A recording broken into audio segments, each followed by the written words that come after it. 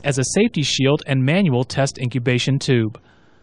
To begin the Micro Inspector test, pull out the white safety plug that holds the two halves of the tube together and remove the top sample cup section of the tube. Fill the cup with sample water until it runs out of the safety plug hole. After filling with sample water, place the ampule section of Micro Inspector over the sample cup and slowly slide it down so that the ampule tip is located in the middle of the snapping tube. When the tip is properly located, press down on the ampule section. This will cause the ampule tip to break and the ampule to fill. After the ampule has filled, realign the two safety plug holes and allow excess sample water to drain out. Insert the safety plug back into its hole using a twisting motion to reseat the plug.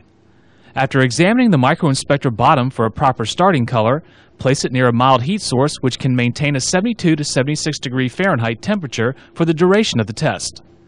Examine the Micro Inspector for the end of test color change at 4 hours, 12 hours, and 24 hours. When the color change occurs, consult the instruction card to determine microbial concentration. After the test has been completed, you can refrigerate the Micro Inspector if you desire to have its contents analyzed further by a lab. When disposing of the Micro Inspector, keep the safety plug in